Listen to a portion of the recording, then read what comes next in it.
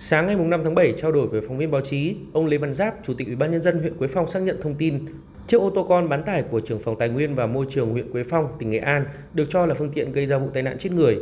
Chiếc xe gây tai nạn nói trên là của ông T, trưởng phòng Tài nguyên và Môi trường của huyện.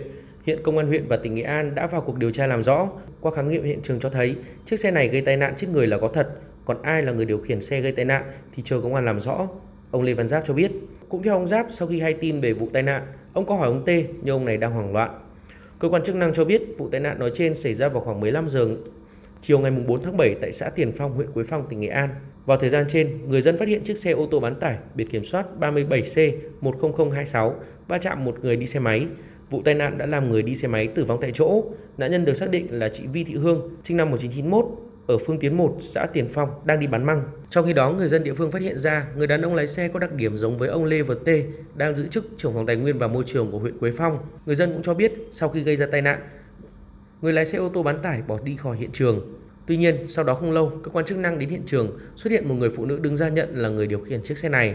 Để rõ hơn về vụ tai nạn giao thông nói trên, phóng viên báo chí đã liên lạc với đội cảnh sát giao thông công an huyện Quế Phong nhưng không nhận được hồi đáp. Hiện nguyên nhân của vụ tai nạn đang được công an huyện Quế Phong, công an tỉnh Nghệ An làm rõ.